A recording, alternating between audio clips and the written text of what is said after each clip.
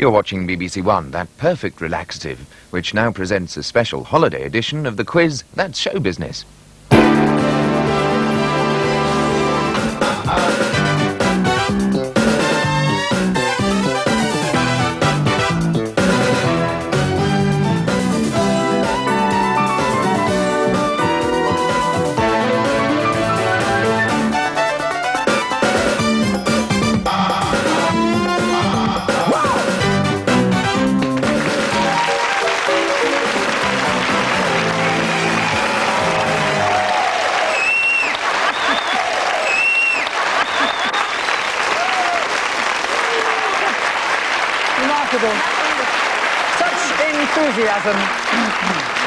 Enthusiasm after all that turkey. Welcome to the holiday edition of That Show Business. Back for just this one more show in 1989, and the BBC have spared no expense at all to add to the festive jollities.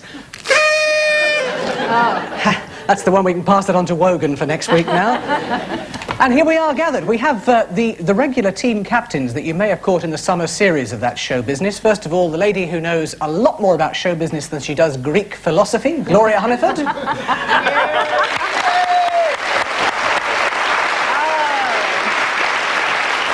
He knows how to chat a he? Really knows how to make a girl feel good. At least I could say the gods have been good to me this Christmas. Guess what I got in each of my stockings? An Adonis. a leftover from Christmas, perhaps? Peter Howitt.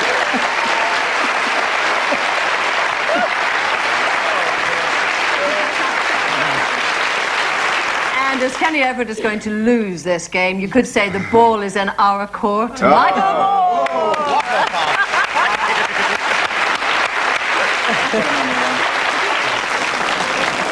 And on the other side, or as he keeps saying, the winning side, underneath the team captain who knows showbiz backwards, and he can say it as well, it's Zibwas, Kenny Everett. Thank you. I think this year the BBC spent all the budget for the show on that whizzy thing that you just oh. produced because have you read the line I've got as an intro? the line they gave me is that this is a out of a This is your ad lib, is it? Did you hear I mean it doesn't even say hello folks. Did you hear about the hyena who fell in a vat of boiling water and made a laughing stock of himself? I knew I should have bought more expensive crackers.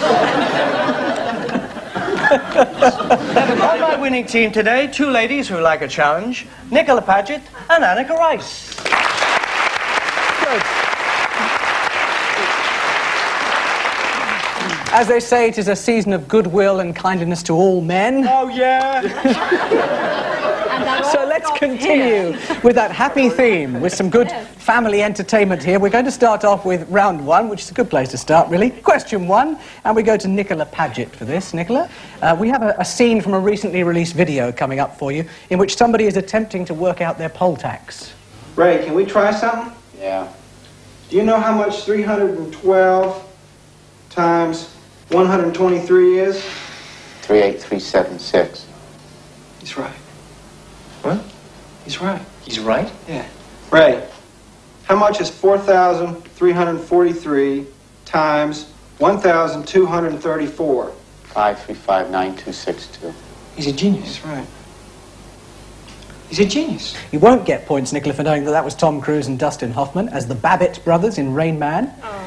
Instead, can you give me Dustin Hoffman's co-star in Marathon Man for two points? Laurence Olivier. Well done, yes. Laurence Olivier it is. Two. Two more points for this. In 1970, Olivier played a role on stage that Dustin Hoffman also undertook during 1989. What was the role and the play? Shylock, Merchant of Venice. Charlotte Merchant of Venice, maximum points for Nicola Pagett.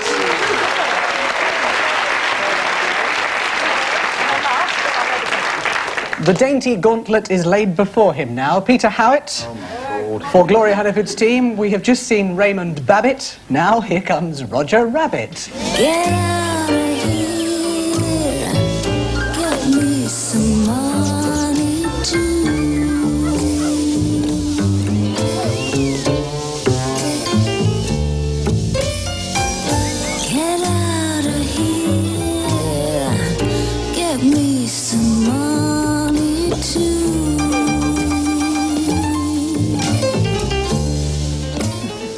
Who Framed Roger Rabbit it was. Two people supplied the voices for Jessica Rabbit. Now, the singing was done by an actress who had a connection with Steven Spielberg. Do you know her name? Ah? Her name wasn't Ah, was it? No, it wasn't her. Ah, Spielberg. Uh, Oh, I know who it might have been. I know, you're just cleaning his ears, Gloria. Amy Irving. Amy Irving is correct, yes. Now, Whoever she might be. there she is. The speaking voice of Jessica Rabbit was supplied by the actress who starred in, amongst other things, Body Heat. Oh, I don't know the answer to these. Uh, not oh, William I Hurt, think I know again who it might be. Oh, yes. Is Kathleen Turner Kathleen close? Turner, yes. Ah, yeah. Maximum points. Anneka, see if you can do this without the sort of help that was over there. Do you recognise this man? Yeah. It's him. It's not Steve Who is it? Martin, actually. No. Uh, it's, it's a man called Lenny Henry, whoever he is. That's who it is. Do you agree Sorry, with that, I, Anneka? I just I say Kenny. I don't know, even know what he's talking about, but I'd Right. say that was Steve Martin. You'd say that was oh, Steve Yeah. Martin. Have a look.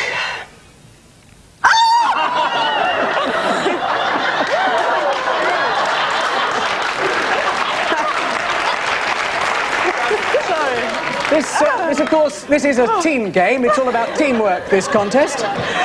Oh, I'm overcome. Lenny Henry there, being made up as uh, Steve Martin for his video Lenny Live and Unleashed. And thinking of the chasm into which you have just fallen, who could this be? Now, I'll give you a clue. Chat show host, not Derek Jameson. I'm not helping her. Famous chat show host, yes. Any ideas at all? What time's the Sorry, play I. I don't recognise you. Michael, she's been warming up your seat. You're welcome. Oh gosh, I knew do a I chat shouldn't have done this. Chat show. God, everybody. Um, I everyone's think got I a take a bonus point I in the way Ross- of Michael. Jonathan Ross? Let's have a look. Yes, Jonathan Ross it is.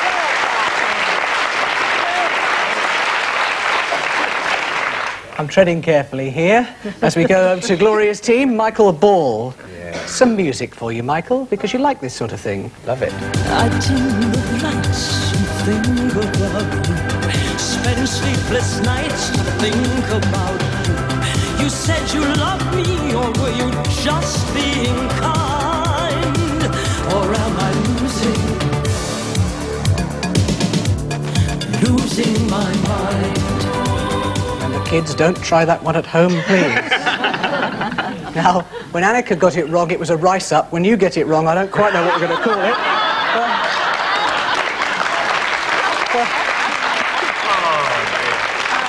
For two points, Yes. who was she and who produced that record? Liza Minnelli and the Yes. Pet Shop Boys. Pet Shop Boys, yes, and for a point each. Stephen Sondheim. Who wrote the song? Follies. this is a backwards quiz we're doing here. What is the Pet Shop? Stephen Sondheim, and it came from Follies. Follies. Okay, maximum points for Michael Ball.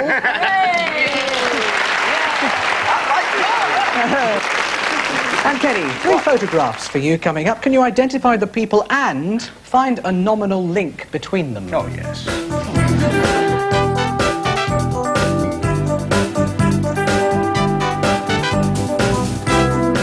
Gotcha. Okay, first of all, name the stars, please. Uh, Diane Keaton was the first photograph. Yes. Then there was Michael Keaton, who has the same name as Diane Keaton. Yes. They're both Keatons. And then Michael Douglas was the last one, and they're, the- both of the f- middle one and the last one are two Michaels.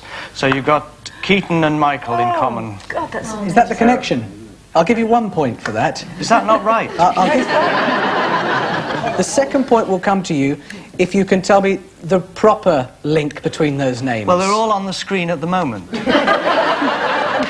The second point would have been for knowing that Michael Keaton's real name is Michael Douglas. As there was already a successful Michael Douglas, he changed his surname by borrowing Diane Keaton. Why, why are our questions more difficult than their questions? I'll give you a bonus point then, if, if anybody can tell me, this is open to anybody at all, what's the nominal connection between Diane Keaton and Annie Hall? Apart from the She had a that... grandmother. Pardon? She had a grandmother. Who did? Annie Hall. No, Diane Keaton had a grand, gra- Granny Hall. Granny Or is Hall. that in the story? That's in the story. Getting very...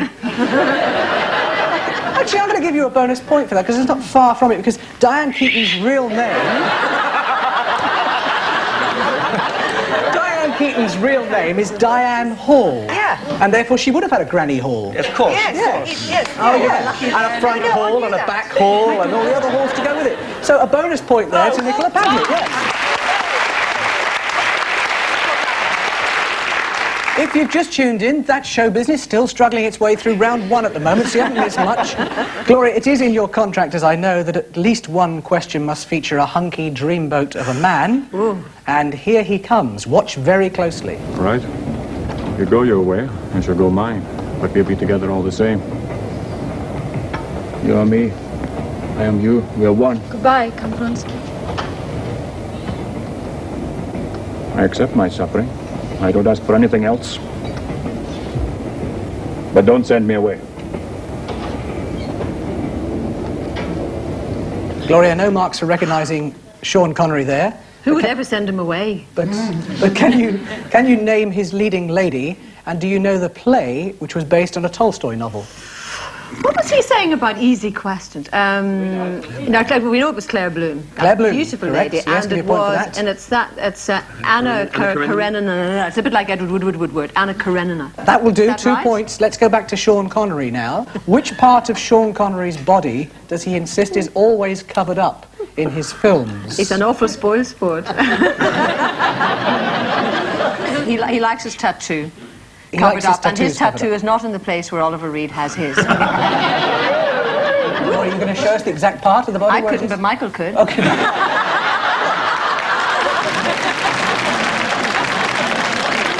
no, it, well, it's arms, isn't it, you were going to say? I was, yes, because Yeah. tattoos on his arms. Yeah, you're quite right. You get full marks on that, Gloria. Oh, good. Now at the end of round one. After all that. And at the close of round one, we have in second place, but only just on 10 points, Kenny Everett's team, but leading the way, it's Gloria's team on 12.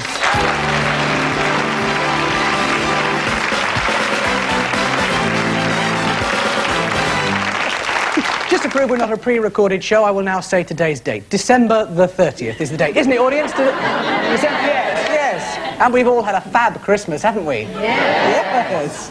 And we'll soon be celebrating the arrival of those television commercials for holidays. So we're going to look at the way that showbiz has dealt with holidays and travel for round two. We'll go to Gloria Hunniford first of all. No holiday season quite complete without Disney. It's a very tenuous link here. A small item here that's available on video now. Let's celebrate an un-birthday, Gloria. Unback. An un-birthday. In that case, a very merry birthday To me? to you. A very merry birthday For me? for you. Now blow the candle out, my dear, and make your wish come true. a very merry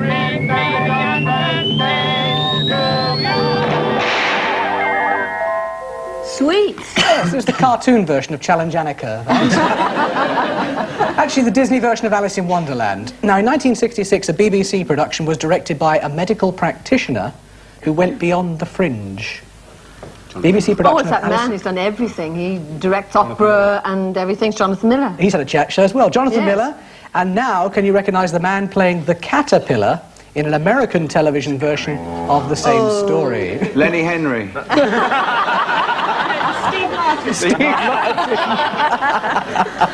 Oh, it's a man actually we're thinking about very much. Yeah. It is Sammy Davis Jr. Sammy Davis Jr. Very it is, yes. yeah. So that starts round two off with maximum points for you. We go to Captain Ken on t'other side. In 1960, two young men made a travelogue about holidays in the Lake District. They took part in a barn dance. If you watch very carefully, a question follows this.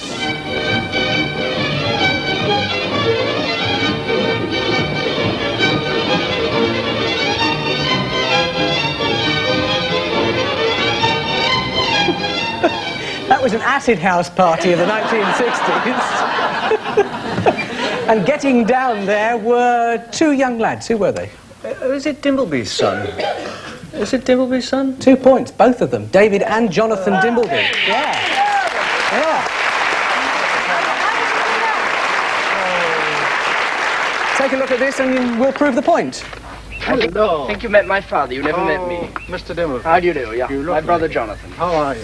Hey. Yes, meeting. Um, now, two more points. Which radio program, Ken, connects Jonathan Dimbleby, David Jacobs, and Franklin Engelmann? Oh, that marvellous programme. Uh, any questions? Any questions? Maximum points for Kenny Everett again.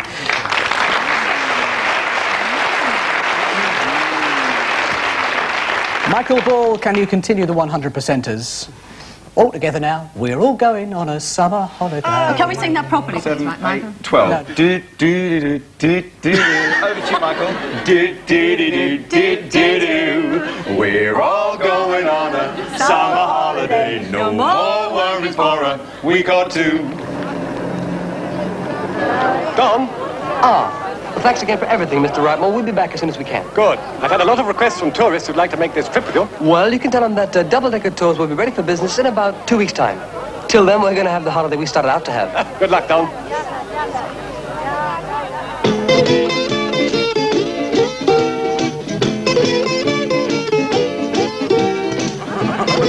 Now, the question is, Michael, can you name the men at the extreme left and right of the screen? on, on there now? Yeah. Well, it's Hank Marvin On the right? on that side. Yes, yes. And on the left? Oh, what's his Bruce name? Welsh. Bruce Welch, yeah. Bruce Welch, yeah. yeah. The, the other two are Brian Bennett and Brian Licorice Locking. Oh, course Brian Licorice, your old Brian. and as we, as we know, Cliff and the Shads Yeah. finished their summer holiday in Athens. But when Rik Mayall and the young ones set off on a bus on their summer holiday, where did they end up?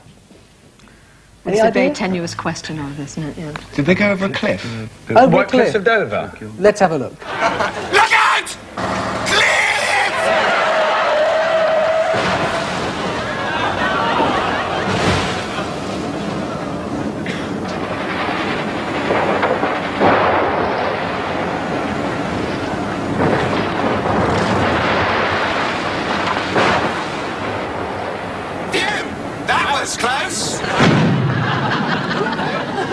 Maximum points for Michael. So we go across to Anneka for her round two question. Now, you, of course, know from your job the hazards of travel and, and what it's like to be chased around with a camera pointing at your bottom all the time. But believe me, life could be a lot worse, Anneka. For instance, I think it's my towel they're laughing at here.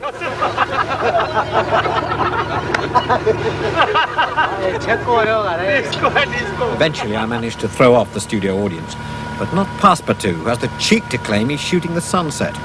Well, cheek is possibly an unfortunate term, but you know what I mean. can you tell me who played Phileas Fogg in the film of the Jules Verne book Around the World in 80 Days? Wasn't Lenny Henry, was it?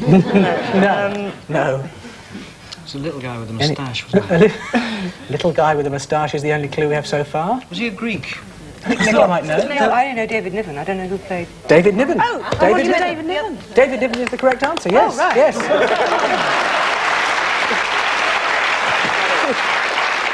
but this is Anneka's question, so for part two, you heard Michael Palin refer to Passepartout, the name he gave to the camera crew there, but who or what was Passepartout in the original story of Around the World in 80 His Days? uh, manservant. His manservant is correct, and there he is, David Niven with his manservant, who was played by a Mexican actor called Cantinflas.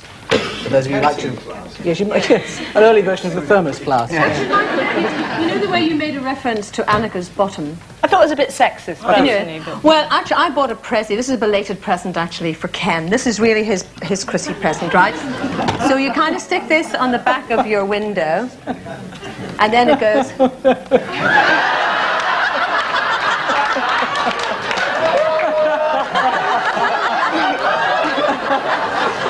I wish I'd never modelled for that now. Rather embarrassing. We, uh, we now come to, uh, to Peter Howitt's question for round two. Peter, a warning here against taking one of those coach tours that covers 15 countries in 10 days. Quite right, Michael. Now, in half a minute, you'll be crossing the Swiss frontier. We are in Switzerland. Now! Switzerland is famous for its mountains, cheese, clocks, and chocolate, nothing else. Open your plastic bags marked Switzerland, and you'll find a small piece of chocolate. Eat it up quickly, we're not here long, this is a small country. Wake up, 12, wake up. We've got another capital coming up in a moment. I've warned you all before. If you miss a capital, you do the whole tour again. Can you guess which 60s television programme which also featured the two Ronnies that the clip came from? Uh, T W. No. TW3. Was it TW3? Or oh, the Frost Report? Bonus? Frost report. Frost Report. Frost report. I, to be honest with you, I was going to say the Frost, Report. All, all, all the same era. Yeah. more or Yes, the Frost yes. Report. Yeah. I'll give you. I'll give you one point for the Frost Report. Hmm. Can you remember the title of a film in which John Cleese plays a headmaster who has a terrible journey trying to get to a conference on time, clockwise? Still clockwise. Two points for that. Okay, Nicola. The joys of camping holidays and eating out of doors for you. Keith, no, no, you always tell me to chew everything 72 times. Mm. But I don't think that can be right because, um, for instance, you're chewing nuts now. And they have to be chewed 72 times because they're very hard. But earlier on I was eating mushroom and I only got as far as 31 and it slipped down my throat quite naturally. so it doesn't always have to be 72 times, does it?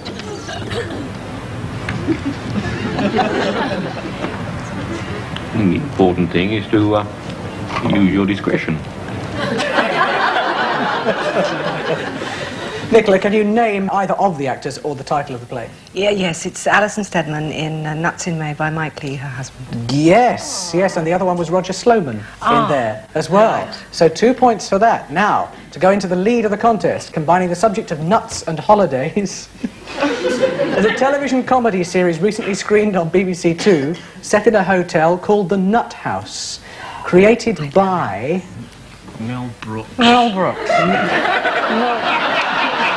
Mel Brooks. Do we give them two points for Mel Brooks? With or without Mel Brooks, hasn't quite closed the gap for Kenny Everett's team. Still one point back on 22. Gloria still in the lead on 23.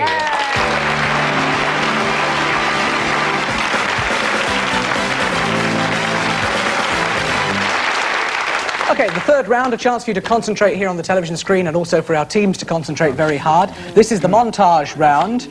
Gloria's team will be going first here. This normally ends up in tears, this particular section of the programme. You're going to see photographs of five people and hear a record by the sixth. Now, how many can you identify and can you find any sort of a link between them all? We they will come. try, Michael. When I'd stopped opening doors, finally knowing the one that I wanted was yours, making my entrance again with my usual flair, sure of my life.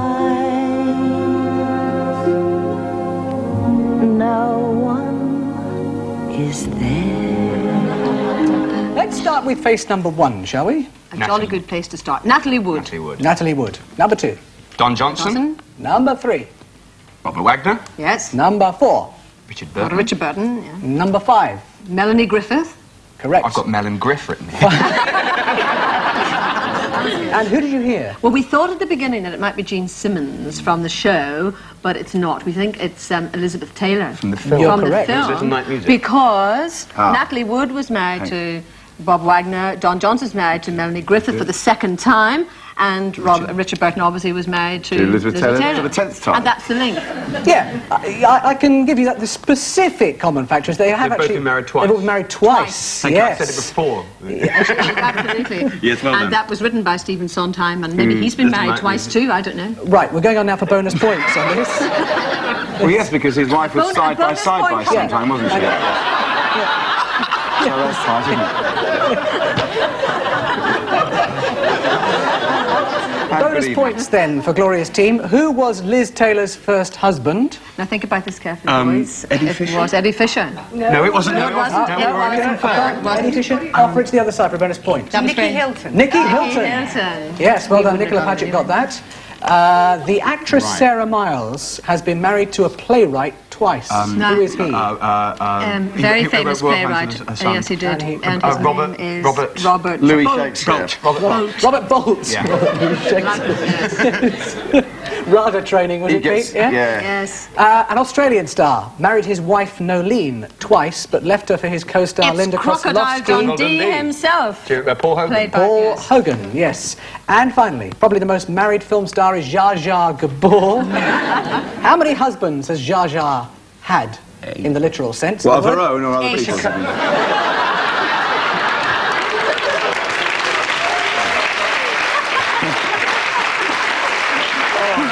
Her, her own husbands Ah. to the nearest two. Eight, And she discounts one. Eight, eight, and she discounts one, we discounts think. one, Yeah, to the And she's two. It's actually to- nine. She does football against her husband quite regularly, actually. Really? Which one? Oh, all of The whole team? the whole team, yeah, they've got a team. The Gabor, they're called the Gabors. I don't know what the score was there, but it's Kenny's team's turn now. Look I'd and like you listen. to know that during that round, I gave birth to and brought up quads.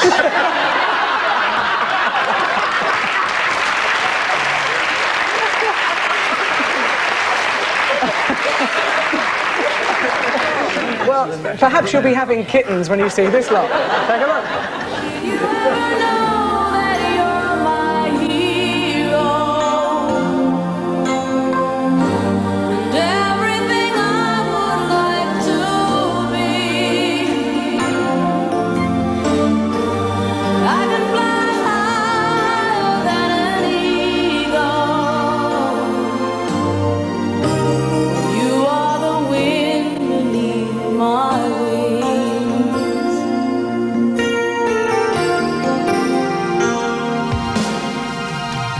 Are you ready? yes, we You are? You're confident on this? Oh, aye. Can you take the lead here, Ken? First face was Danny DeVito. Yeah.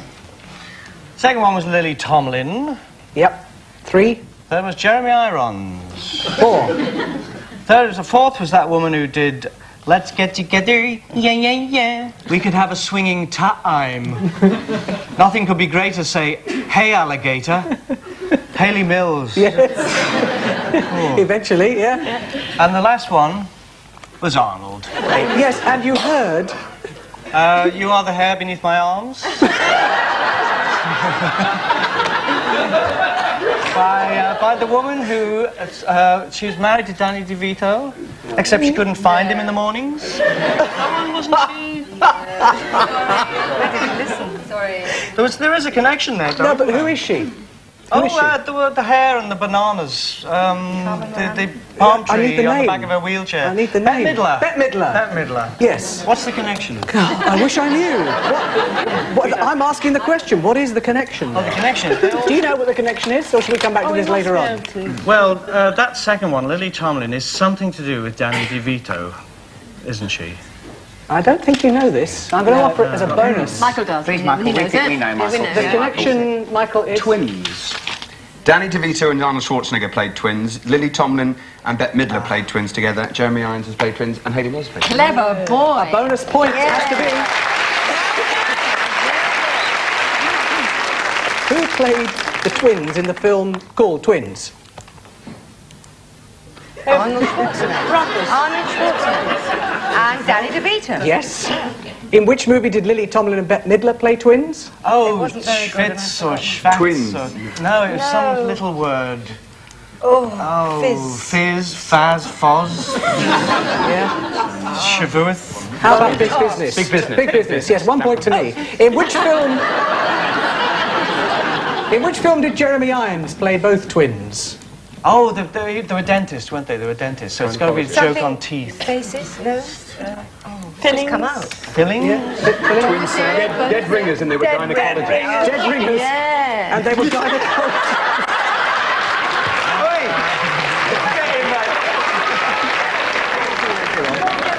And in which movie did Hayley Mills play twins? Now, you referred to this earlier on. Oh, that, uh, yeah, the, the, the uh, see you later alligator thing. The, What's it? uh, um, Yeah.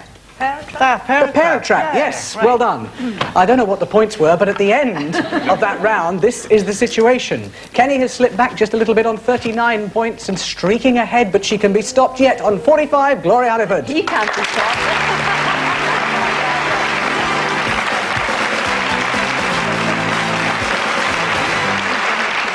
we come to the scintillating last round. It's all down to the wire on this because either team can win a lot of points here. 30 points on offer for the last round. We'll go to Kenny's team first of all. 15 quick questions coming up. They go to each team member in turn.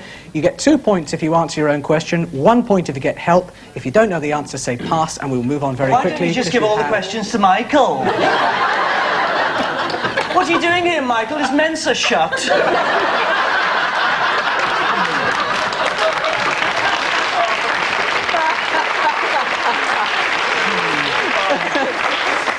We start with Kenny Everett's team, and 90 seconds starting with Nicola Pagett. Nicola, what was the title of Jeffrey Archer's short-lived play about newspapers? Exclusive. Yes, Anneka, which film came between Raiders of the Lost Ark and Indiana Jones and the Last Crusade? Temple of Doom. Temple of Doom for one point. Kenny, the first British number one of the 80s was Brass in Pocket. Who made it? Pretenders. The Pretenders, correct. Nicola, which major TV series starred Dame Peggy Ashcroft and Tim Pigott Smith, amongst others? Uh, Jewel in the Crown. Yes, Anneka, who won an Emmy for his stuff? The right stuff. Uh, could be, but no. No? Any, uh, no? Anybody? Alexei Sayle. Kenny, it started on BBC Radio, moved to Channel 4, and is presented by Clive Anderson. What's the programme? Lines it anyway. Mm. Lines it anyway. Who's lines it anyway for one point? Nicola, your own question. Michael Williams' wife became a dame. Who is Dame she? Judi. Dame Judi. You have 40 seconds correct. Michael Jackson made the biggest selling album of the decade. Anneka, what's the title? Bad. Thriller. Thriller. Oh, thriller! It was bad! It was bad! Radio 4, it was a bad answer. Radio 4 introduced a new soap opera about life in Limerick Road. What is it, Kenny? The Dales. The Citizens. Nicola, Mary Whitehouse complained about Patrick Malahide showing his bare bum in which Dennis Potter Singing series? Detective. Singing Detective, correct. Anneka, last Christmas, Cliff Richard had his only number one in the 80s. What was it? Mistletoe and wine. Yes. Embarrassed knowing that one. Des Lynam presented Holiday 89. Kenny, who presented Holiday 88? Judith Chalmers. Frank Bough. Nicola. In nine-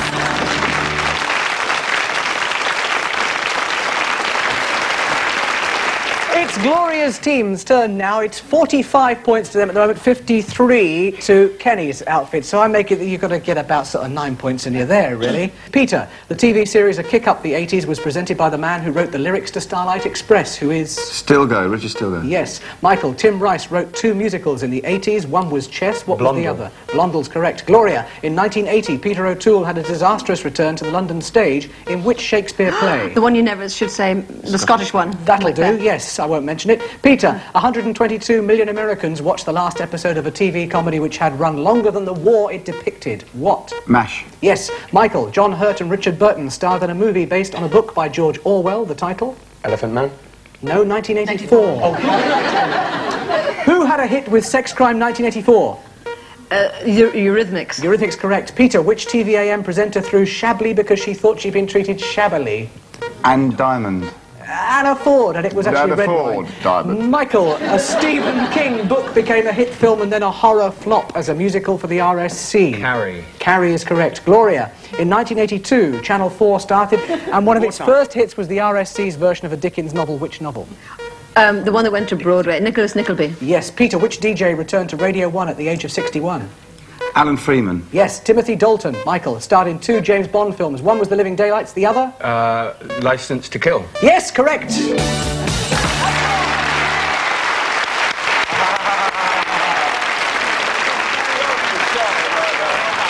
Excellent competition. Good answers and bad answers from both sides, but at the end of the day, it was Gloria Hunniford's team who won. Peter Howitt, Michael Ball, who was tremendous. It's 60 points, the winners. That's right. Distraught. It's nothing to me. no.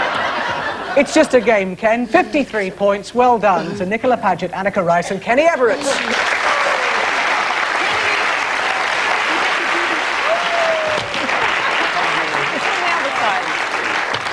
We wish you a happy rest of festive season. Thank you very much for joining us on that show business. Great teams here. I hope some of them will come back and join us for our summer series. We will be back in the summer of 1990. Some more good sportsmanship to come in the next decade. Bye bye.